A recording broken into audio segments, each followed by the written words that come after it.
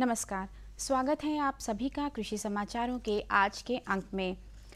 सबसे पहले नज़र आज की खास खबरों पर। कृषि तकनीक से बढ़ाएँ अपना उत्पादन। केंद्र सरकार खरीदेगी 2.8 करोड़ टन गेहूँ। भूकंप ने तोड़ा नेपाल और बनारसी तुलसी का रिश्ता।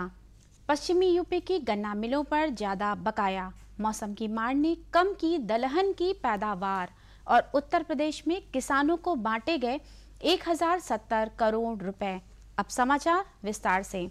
देश के प्रधानमंत्री नरेंद्र मोदी ने प्रयोगशालाओं में विकसित कृषि तकनीक को खेतों तक ले जाने तथा फ़सलों का अधिक उत्पादन करने के साथ साथ किसानों की आमदनी बढ़ाने के लिए कृषि वैज्ञानिकों से आगे आने की अपील की है।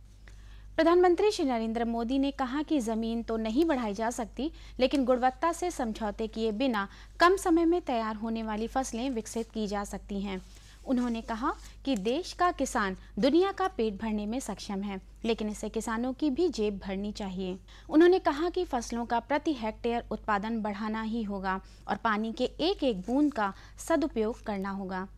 उन्होंने कहा कि जल संचय के लिए किसानों को जागरूक करने की ज़रूरत है। प्रधानमंत्री ने कहा कि हर किसान का देश की तरक्की में बड़ा योगदान है। इसके साथ ही श्री मोदी ने ज़मीन सुधार करके उपज की पैदावार बढ़ाने और कम अवधि की फ़सलों की बुवाई करने पर ज़ोर दिया है। खरीद दिशा निर्देशों में छूट दिए जाने की वजह से केंद्र सरकार को वर्ष 2015-16 फ़सल विपणन सीज़न में 2.6 से 2.8 करोड़ टन गेहूँ खरीदने की उम्मीद है। सरकार ने पहले लगभग तीन करोड़ टन गेहूँ किसानों से खरीदने का लक्ष्य रखा था, लेकिन खड़ी फ़सल को नुकसान होने की वजह से इस लक्ष्य को पूरा करने में दिक्कत आ सकती है। हालाँकि एक महीने बाद अधिकारियों का कहना है कि यह खतरा लगभग टल ही गया है, क्योंकि किसी निजी खरीद एजेंसी की ओर से बड़ी खरीदारी न करने की वजह से भारतीय खाद्य निगम और राज्य एजेंसियाँ 2.6 से 2.8 करोड़ टन गेहूँ खरीद सकती हैं। नेपाल में आए भूकंप का असर वाराणसी की तुलसी पर भी पड़ रहा है। तुलसी की बड़ी खेप वाराणसी के विभिन्न क्षेत्रों से नेपाल भेजी जाती रही है। लेकिन भूकंप के चलते आवागमन बहुत अधिक प्रभावित हुआ है, जिसके चलते तुलसी और तुलसी की माला नेपाल तक नहीं पहुँच पा रही है। वहीं पर्यटकों के बीच तुलसी माला की मांग में भी कमी आई है। वाराणसी ज़िले के विभिन्न ग्रामीण इलाकों के किसान तुलसी और तुलसी की माला लेकर मलदैया स्थित फूल मंडी पहुँचते हैं, जहाँ पहले से मौजूद नेपाल के कारोबारियों के स्थानीय प्रतिनिधि किसानों से तुलसी और तुलसी की माला थोक भाव में खरीद लेते हैं। स्थानीय किसानों के अनुसार नेपाल में आए भूकंप के चलते इन दिनों तुलसी और तुलसी की माला की मांग ठप सी पड़ गई है। भारत के चीनी क्षेत्र को बढ़ते गन्ना बकाया और कमज़ोर वित्तीय हालत की वजह से संकट का सामना करना पड़ रहा है। लेकिन बकाया को लेकर गंभीरता से नज़र डालें तो पता चलता है कि 2013-14 के पेराई सत्र की तुलना में इस क्षेत्र पर दबाव एक साल के अंदर अधिक नहीं दिखा है। खाद्य एवं उपभोक्ता मामलों के विभाग के आंकड़ों से पता चलता है कि भुगतान योग्य कुल कीमत के प्रतिशत के रूप में गन्ना बकाया 15 अप्रैल को पूरे भारत के स्तर पर लगभग छत्तीस दशमलव आठ छह पर था, जबकि 2013-14 की समान अवधि के दौरान पैंतीस दशमलव चार दो फ़ीसदी पर था। चीनी पेराई का सत्र अक्टूबर से सितंबर तक चलता है। गन्ना के बकाया कुल कीमत के प्रतिशत के रूप में 15 अप्रैल 2013 को लगभग 21.18 पर था। उत्तर प्रदेश सरकार ने बेमौसम बारिश और ओलावृष्टि से प्रभावित करीब 23 लाख किसानों को अभी तक 1070 करोड़ रुपए का मुआवजा वितरित कर दिया है। इसके अतिरिक्त सरकार ने अब उत्तर प्रदेश के पिछहत्तर जिलों में से बहत्तर को प्रतिकूल मौसम से प्रभावित घोषित किया है। अनुमान के अनुसार करीब अट्ठावन दशमलव छह लाख हेक्टेयर क्षेत्र में तैतीस फ़ीसदी से ज़्यादा फ़सल को नुकसान हुआ है जिससे इस क्षेत्र पर खेती करने वाले सभी किसान सरकारी मुआवजे के पात्र हैं। उत्तर प्रदेश की सरकार ने केंद्र से अतिरिक्त सात हज़ार पाँच सौ नवासी करोड़ रुपए का राहत पैकेज मांगा है, जिससे उन किसानों को मुआवजा मुहैया कराया जा सके, जिनकी फ़सल को नुकसान हुआ है। इस बीच राज्य ने अपने संसाधनों से 1455 करोड़ रुपए किसानों के राहत पैकेज के लिए आवंटित किए हैं, जबकि आत्महत्या करने वाले किसानों के परिवारों को चार दशमलव तिरासी करोड़ रुपए का मुआवजा वितरित किया गया है। प्रदेश में दलहन उत्पादन के लिए बड़ी मंडियों में शुमार बुंदेलखंड का ललितपुर जिला इस वर्ष दलहन उत्पादन के क्षेत्र में पिछड़ता नज़र आ रहा है। ज़िले की विभिन्न मंडियों में शुरुआती आवक के रुझानों के हिसाब से बेमौसम हुई बरसात ने दलहनी फ़सलों को बर्बाद कर दिया है। ऐसा नहीं है कि मौसम के बदलाव से ही दलहन के उत्पादन में कमी आई हो। एक ही फ़सल का लगातार उत्पादन अंधाधुंध रासायनिक उर्वरकों के उपयोग से भी जनपद में मसूर, चना तथा मटर के उत्पादन में अपेक्षाकृत कमी आई है। फ़िलहाल मंडी में मसूर की आवक अपेक्षाकृत न के बराबर हो रही है। और इस साल मई तक चलने वाले पूरे सीज़न 200 से 250 कुंतल मसूर की आवक भी मुश्किल दिखाई दे रही है। बुंदेलखंड की प्यासी धरती होने के बावजूद भी ज़िले में भारी मात्रा में चना और मसूर उत्पादन होता था, जिसका किसानों ने जमकर फ़ायदा उठाया। लेकिन अब मंडियों से मसूर समेत अन्य दलहनी फ़सलें गायब सी नज़र होती आ रही हैं। कृषि विशेषज्ञों के अनुसार धरती की उर्वरा शक्ति पुनर्जीवित करके अच्छा फलोत्पादन प्राप्त किया जा सकता है। विशेषज्ञ कहते हैं कि रासायनिक उर्वरकों तथा कीटनाशकों के उपयोग से भूमि की संरचना में भी गड़बड़ी आ गई है और केचुआ जैसे किसान मित्र कीट भी समाप्त होते जा रहे हैं।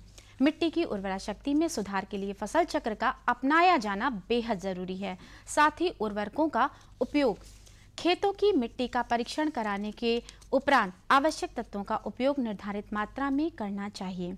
जैविक खाद का ज़्यादातर इस्तेमाल तथा ढैंचा जैसी हरी खाद का प्रयोग कर खेतों की गहरी जुताई भी बेहद ज़रूरी है। कृषि समाचारों के बाद आइए अब जानकारी लेते हैं प्रदेश की प्रमुख मंडियों के ताज़ा औसत भावों की।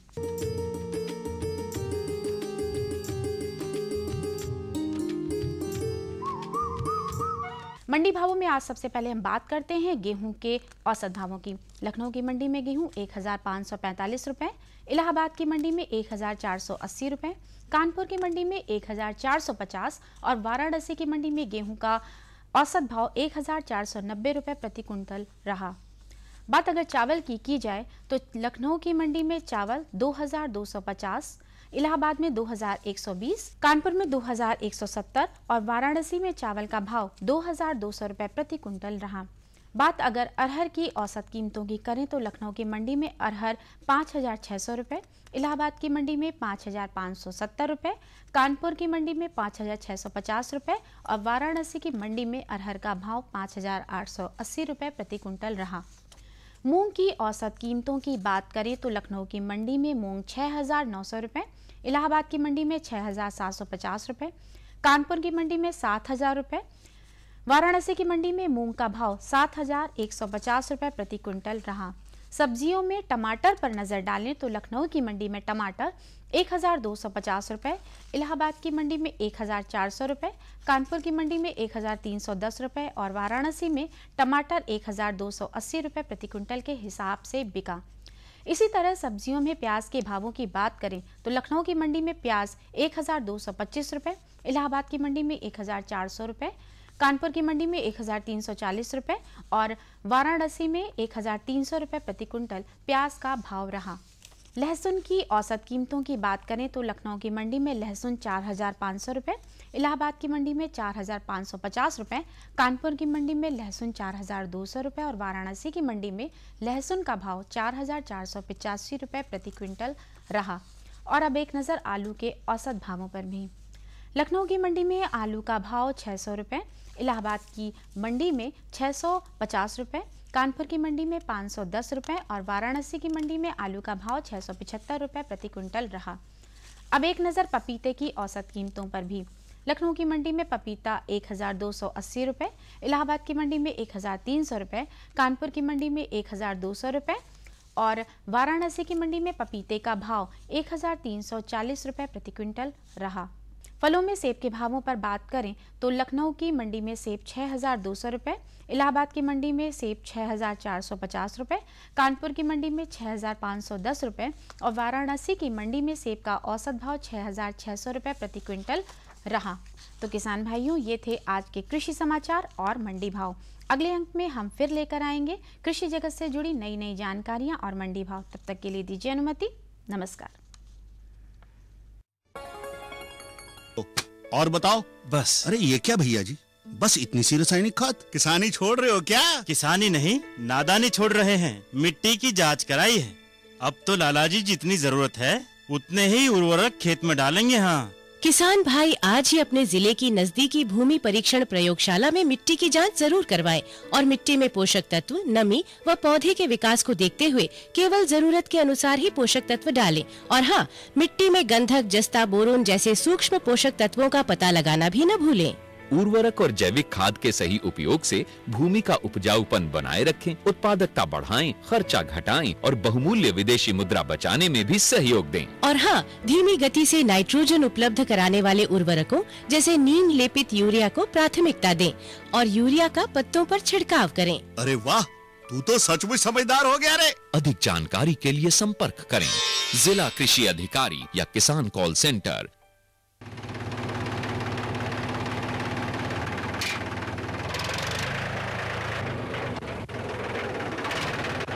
अरे हरकू वाह बीज कीटनाशक और आज खाद भी। अरे इतना खर्चा कहाँ से? अरे खर्च की चिंता किसे है? मेरे पास है ये किसान क्रेडिट कार्ड। कार्ड? अरे बैंकों द्वारा जारी इस कार्ड से किसान उसकी सीमा तक की रकम कभी भी बैंक से निकलवा सकता है और खेती बाड़ी की सामग्री कभी भी खरीद सकता है। कर्ज के झंझट से भी छुटकारा। और तो और बिजली के बिलों का भुगतान डीजल। इससे खरीदना और आसान हो गया है। तो हर को भैया एक कारण मेरे लिए भी। किसान क्रेडिट कार्ड के लिए नजदीकी बैंक से संपर्क करें और पाए ढेर सारे लाभ। शामू भैया सरकार कह रही है पूर्वी भारत में भी दूसरी हरित क्रांति आएगी। अरे ये तो पंजाब और हरियाणा में हुआ था। यहाँ तो अनाज की पैदावार अब भी कम है। सरकार की बातों में कुछ तो दम होगा। आखिर यहाँ बारिश तीन गुना होती है। चलो वैज्ञानिक का नंबर मिलाते हैं। अरे वाह आ गए। नमस्ते सरपंच जी। हाँ भाई उपजाऊ ज़मीन की कीमत को पहचानो। ज़रूरत है सिर्फ़ सही किस्म और तकनीक अपनाने की। पूर्वी भारत में सरकार कम गहरे नलकूप और बोरवेल के निर्माण के लिए सहायता दे रही है। लेकिन सरकार से और मिलेगा क्या? भरपूर मदद। ज़मीन की तैयारी से लेकर फ़सल की कटाई तक तकनीकी सलाह। एक हज़ार हेक्टेयर के सैकड़ों क्षेत्रों में चावल और गेहूँ के खास प्रदर्शन भी चल रहे हैं। अरे वाह! फिर तो हमारे खेत भी लहला उठेंगे। क्या ये सपना सच होगा? हाँ ज़रूर। पूर्वी भारत अब हरित क्रांति का अग्रदूत होगा। और हम सब मिलकर कदम बढ़ाएँ। खुशबू की फुहार में। स्वाद की बहार में। तरक्की की तानों में खिलती मुस्कानों में। हरे भरे पौधों में बड़े बड़े सौदों में। मधुर भिनभिनाहट में खुशियों की आहट में। एनएचएम बागवानी मिशन। हमारी चाहत आपकी मुस्कुराहट।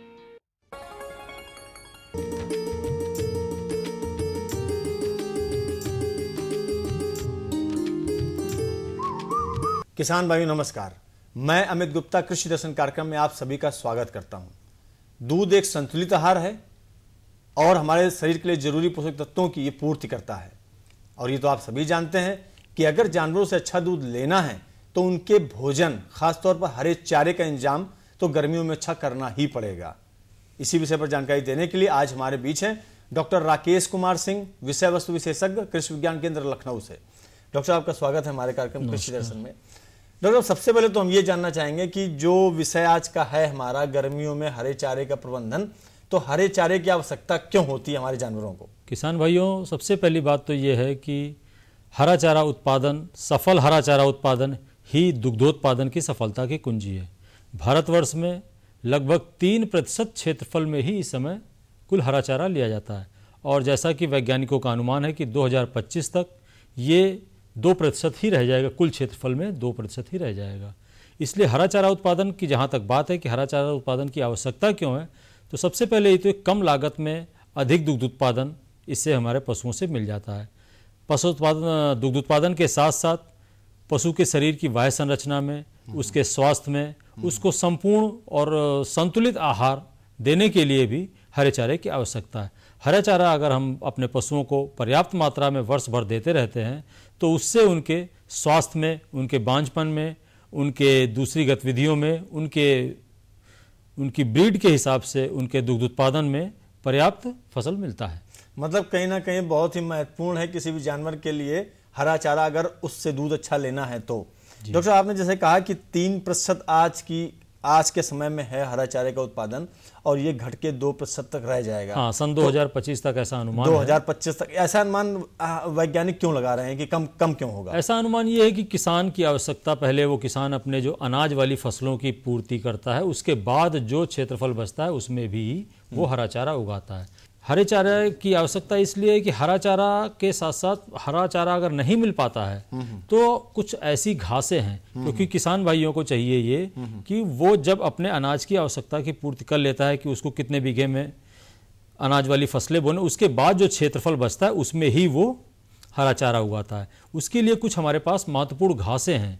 कुछ जो क्षेत्रफल है खेत का खेत की मेड़ों पर और दूसरे क्षेत्रों में इसको बो करके हम किसानों की पशुपालकों की आवश्यकताओं की पूर्ति कर सकते हैं। बिल्कुल मतलब कहीं ना कहीं हरे चारे का उत्पादन कम हो रहा है लेकिन उसको हम लोग सही तरीके से अगर सही करेंगे तो फिर कहीं ना कहीं जो जानवरों की उसकी पूर्ति कर सकते हैं हरे चारे की। जी। डॉक्टर साहब और जानकारी थोड़ा सा ये लेना चाहेंगे कि जो ये हरा चारा है क्योंकि महत्वपूर्ण है दूध का अच्छा उत्पादन देता है कम लागत में आपने बताया। जी। तो इसके उत्पादन के लिए हमारे एक वैज्ञानिक की राय क्या है? उसका उत्पादन कैसे कर सकते देखिए हरा चारा उत्पादन की वैज्ञानिक तकनीकियाँ ये हैं कि इसमें तीन चार मुख्य विषय हैं। क्योंकि हमारे किसानों की या हमारे देश की जमीनें तो बढ़नी नहीं है। इसलिए जो हमारे पास ज़मीन है उसी में हमको हरा चारा उत्पादन करना है। तो उसकी वैज्ञानिक विधियाँ ये हैं कि एक तो हम ओवरलैपिंग क्रॉपिंग सिस्टम ओवरलैपिंग का मतलब एक फ़सल के ऊपर दूसरी फ़सल हम बो दें ओवरलैपिंग क्रॉपिंग सिस्टम को अपनाएँ। दूसरी विधि यह है कि जो एक फ़सल से दूसरे फ़सल के बीच में जो रिक्त समय मिलता है बिल्कुल।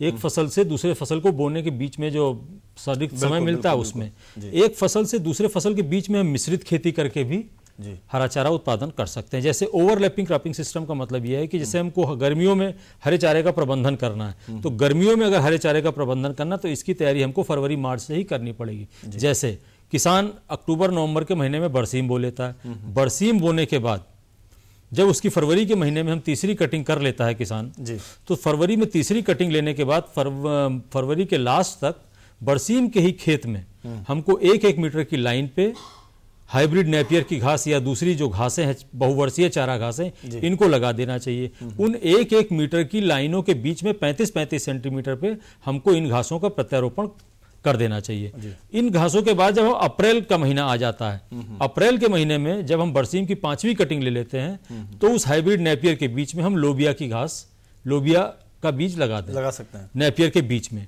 उसके बाद हमारी जब नेपियर तैयार होगी 40-45 दिन बाद उसकी हम पहली कटिंग करेंगे तब तक हमारी लोबिया तैयार हो जाएगी। और मतलब जब लोबिया खत्म करेंगे तब तक हमारा फिर बरसीम बोने का नंबर आ जाएगा। तो कहने का तात्पर्य यह है कि ओवरलैपिंग क्रॉपिंग सिस्टम में कि एक खेत में ही हम तीन फ़सल फ़सल चक्र के अनुसार से साल भर ले मतलब मतलब कहीं ना कहीं जो है किसानों के उसमें जानवरों के खाने को उसमें कमी नहीं होती जो हरे चारे की है। डॉक्टर आपने ओवरलैपिंग यह है कि एक ही ज़मीन में हमको साल भर एक ही खेत में एक फ़सल के ऊपर दूसरी फ़सल मिलती रहती मिलती। रहनी चाहिए। और और, हमारे पशुओं को वर्ष भर अंत हरा चारा मिलता रहे मिलता रहता है। डॉक्टर साहब आपने ओवरलैपिंग की बात की तो हमारे किसान भाई समझ गए कि ओवरलैपिंग कैसे कर सकते हैं।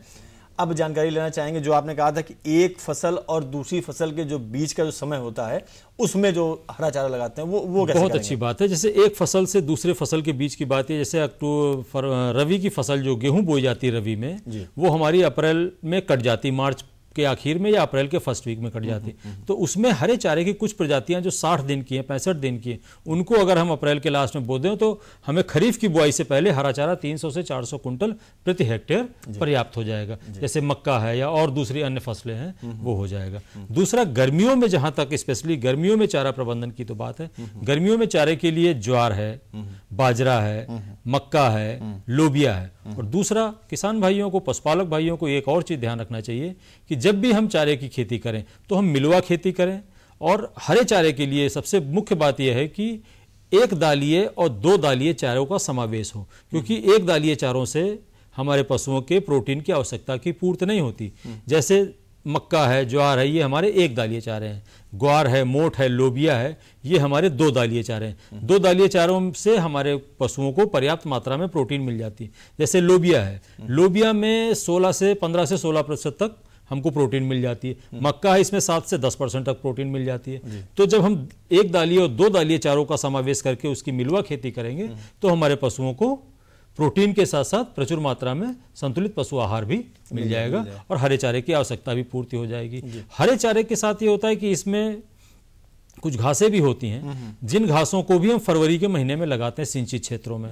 अगर इनको हम सिंचित क्षेत्रों में फरवरी के महीने में लगा देते हैं तो ये हमारी जून या मई के आखिर से इसकी कटाई हम चालू कर सकते हैं। जी अक्सर ये देखा गया है कि वर्ष में दो बार मई जून बरसात के पूर्व और बरसात के बाद अक्टूबर नवंबर में लियन पीरियड कहते हैं। इन्हीं साल में इन चार महीनों में हमारे पास हमारे पशुपालकों के लिए हरे चारे की आपूर्ति नहीं हो पाती क्योंकि चारे की कमी होती। और जब चारे की कमी होती है तो उनके दुग्ध उत्पादन पर प्रभाव पड़ता है। मतलब कहीं ना कहीं हरा चारा तो ज़रूरी है ही कि अच्छा उत्पादन करके। डॉक्टर आपने एक बात कही थी कि एक दली एक दली और दो दली जो आपने बताया था कि चारा उगा सकते हैं और किसानों के मतलब जानवरों की जो प्रोटीन का सोर्स वो अच्छा हो सकता है। डॉक्टर साहब क्या इसमें ऐसा भी होता है कि ये जो दालें बता रहे हैं इसको उगा करके आगे की जो खेती आने वाली है उसके लिए भी कुछ लाभकारी होता है? क्योंकि देखिए- जो न्यूट्रिएंट्स होते हैं ज़मीन के अंदर वो कहीं ना कहीं देखिए मैं आपको बता दूँ पशुपालक भाइयों को बताना चाहता हूँ दो दालिये का मतलब ये है कि दाल वाली फ़सलें।